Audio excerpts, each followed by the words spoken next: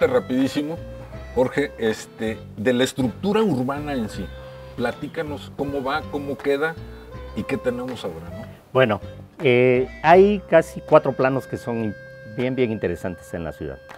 El primero que todos conocemos, el de Rosuela, antes de que se embovede, el, se le haga la alfarda al río.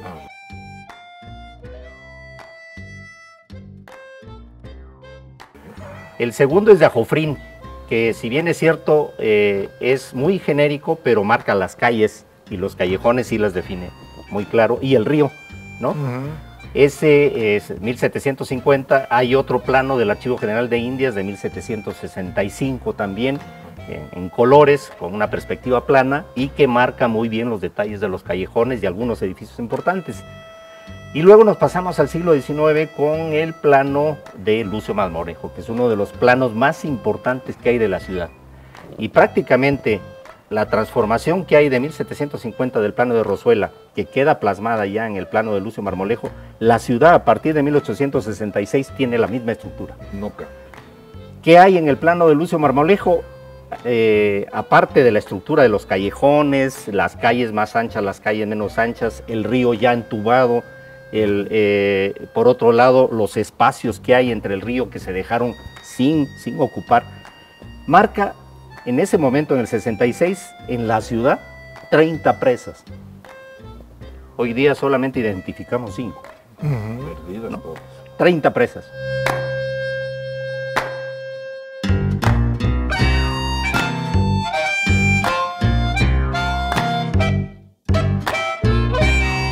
Veintidós- 27 plazas y, paso- y plazuelas.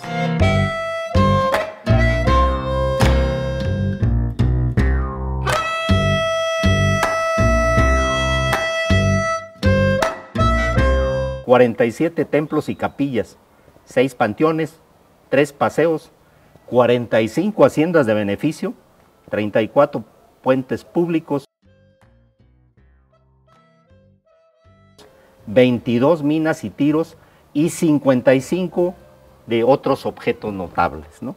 Que hay dentro de ellos el palacio, hospitales y todo este tipo de cosas.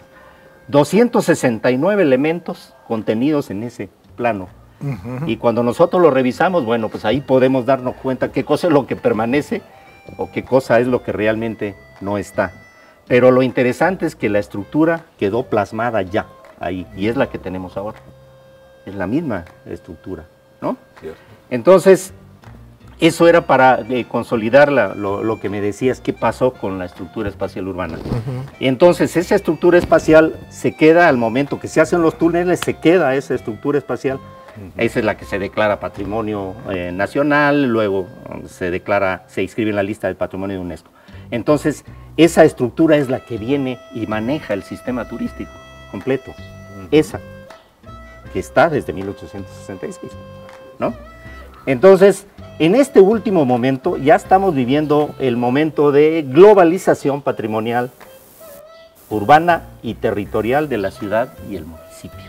Ahora sí, como que quedó Cuébano y estamos hablando de una nueva ciudad, pero una nueva ciudad que nace con la cuestión de los túneles, pero no nace con la infraestructura. Adecuada. Entonces hay una interdependencia entre esta ciudad nueva. Hay más gente aquí Acá, que que la de acá, ¿no? O sea, en Cueva no hay menos gente que en la periferia. Y eh, los problemas se suscitan cada vez mayores, sobre todo por el sistema de transporte y vialidad. ¿no? O sea, la accesibilidad es uno de los grandes problemas para integrar la ciudad nueva con la ciudad anterior. Y esos problemas son en todo orden. O sea, no hay mercados fuera, los mercados están aquí. No hay escuelas nuevas fuera, todas están aquí y aquí han ampliado sus cosas.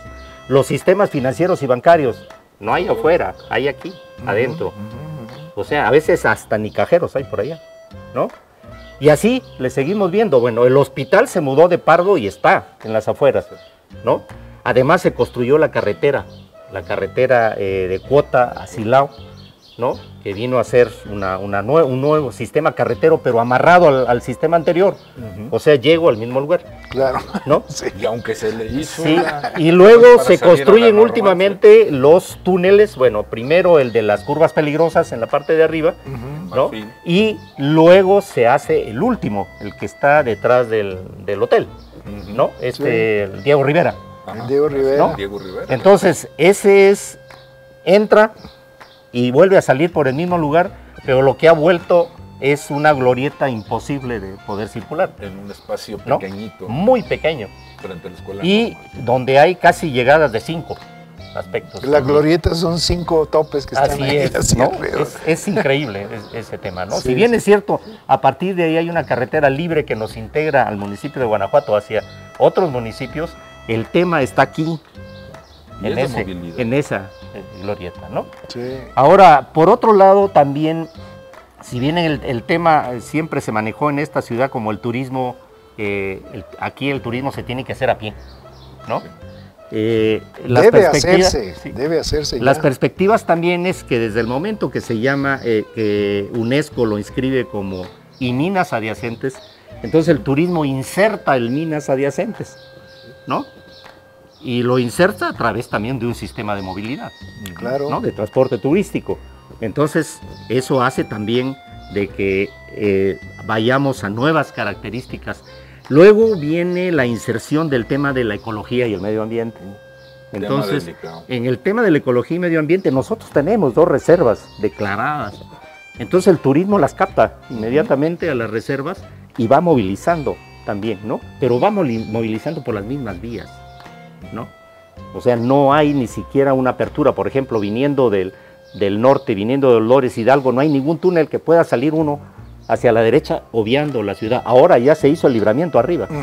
Entonces, ese, en el momento que entre en operación, porque todavía le falta, Sí, le falta un- Va de eh, ese, otras ese es un factor fundamental Sí. en esta nueva estructura, porque estamos hablando ya no solamente de turismo de ciudad, de turismo medioambiental. ¿no? Entonces, eso significa ya la interacción entre la ciudad, la ciudad responsable del patrimonio histórico y de la centralidad eh, prácticamente eh, patrimonial, a una ciudad de centralidad patrimonial y turística, pero turística y medioambiental.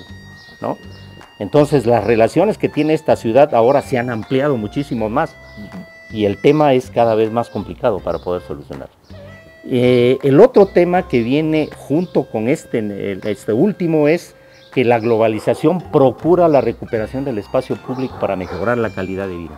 Entonces los planes de ordenamiento territorial también insertan en sus eh, eh, características planimétricas este tema de la ecología, el medio ambiente, la recuperación del espacio público para mejorar la calidad de vida.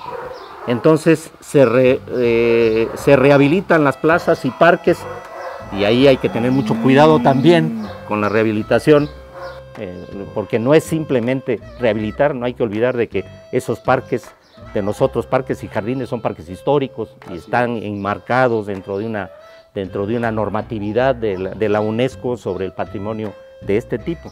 Y que una cosa es conservar y otra cosa es dignificar y todo. Pe- pero una cosa adicional, no debemos descuidar esas partes, no por mala información o por poca información, dejar de lado todo eso, porque eso es lo que convierte a Guanajuato en eh, interesante para el turista. Así es. ¿sí? Entonces no debemos dejar de lado eso, es muy importante esto. Sobre todo en los parques, ¿no? Pero eso va a ser, eso va a ser un, un tema. El tema, sí. Ahora, en este, en este proceso ya, eh, lo que las políticas mundiales son el impulso al turismo.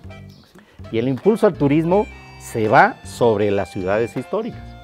Entonces hay una inversión bastante grande, en esta ciudad de Guanajuato hubo una inversión bastante grande del 90 al 2000, Pero en- fuertísima, fuertísima. O sea, se reestructuró prácticamente todo el espacio público de lo que llamaron en ese momento el centro histórico, ¿no? Que es una división en la mitad de lo que es la zona de monumentos, ¿no? O sea, la zona de monumentos tiene 190 hectáreas, el centro histórico tiene 80. Y se volvieron las 80 hectáreas más caras de la historia, ¿no? Además, ¿no? ¿Por qué? Porque se le hizo una inversión fastuosa en este tema ya mundial de que está involucrado con la globalización. O sea, el medio ambiente, la recuperación de los centros históricos, el mejoramiento de la calidad de vida y el mejoramiento de los espacios públicos. Inclusive eh, ahí tiene mucho que ver el programa Habitat, ¿no? que trabaja mucho por la recuperación de los espacios. Entonces, en este sentido, estamos, y, además a la, a la, recuperación de los espacios también se le sobreponen actividades de tradiciones y costumbres, que es también bastante interesante, ¿no? O sea, ahora se pueden realizar una serie de festividades en las plazas y recuperando inclusive a veces tradiciones y costumbres antiguas, ¿no? Entonces, ¿qué cosa es lo que está pasando ahora? Seguimos con este fenómeno de expansión y un, fenómeno de expansión que a veces es incontrolado, ¿no? Menos en el rumbo de Dolores Hidalgo, después en todos los lugares. Eso significa que está en proceso de repoblamiento Marfil, está en proceso de repoblamiento la salida de Juventino Rosas y todo lo que está por allá, ahora Yerbabuena. o sea, ahora la ciudad ya volvió a encontrar a los antiguos, a las antiguas comunidades rurales, ¿no? Ya el maluco está inserto, ya, ya están todos insertos y ya no falta nada para insertar físico espacialmente a la Sauceda, porque ya económicamente está inserta. ¿no? La Sauceda, su estructura económica depende de esta ciudad, ¿no? Entonces, ese es el fenómeno que estamos viviendo ya ahora, ¿no? Estamos en este mundo global y además local a la misma vez, ¿no? Y ese es el que estamos observando ahora con toda esta problemática en la que no se le puede quitar también la de los servicios públicos. que ese es el otro. Es un compromiso. es el otro, es el otro gran, esa es la, pues, gran problemática. Pues tenemos un gran trabajo por hacer, amigos, y los invitamos a que se sumen a estos esfuerzos por ir entendiendo más a nuestra ciudad para finalmente ayudar de mil maneras a ubicarnos en un proceso ya de respeto y de, de conservación de nuestro Guanajuato. Hay miles de temas todavía por, por adelante. Lamentablemente el tiempo se va volando. Eh, y pues doctor, eh, algo que nos quieras eh, pues comentar más. recalcar un poquito tus palabras, el compromiso viene siendo de todos los, los habitantes de la ciudad de Guanajuato. Podemos con la plática de Jorge entender cómo la estructura urbana se ha quedado desde 1800, o sea, este, ya, ya Guanajuato ya no, no se modifica sustancialmente en cuanto a sus trazas, eh, se hacen los túneles para solucionar, para buscar soluciones, pero esto quiere decir que lo, antiguo en Guanajuato está presente. Sí, claro. nuestra ciudad estructuralmente sigue siendo la misma.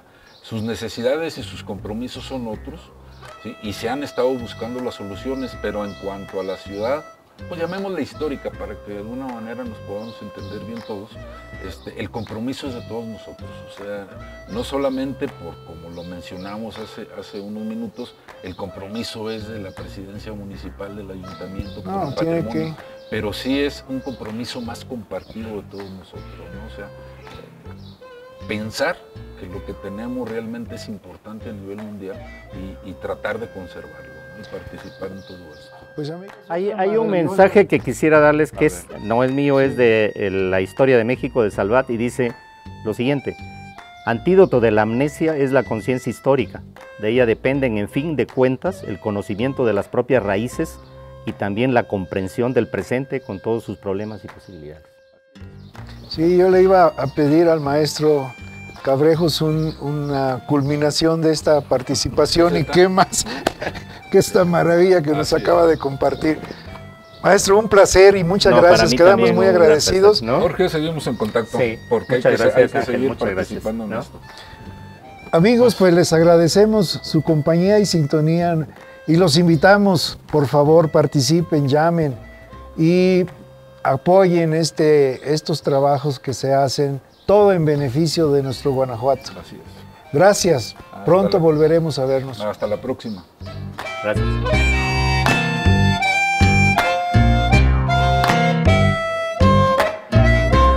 Ahorita vamos a ver, este, es de los 50 a los 80. Ajá.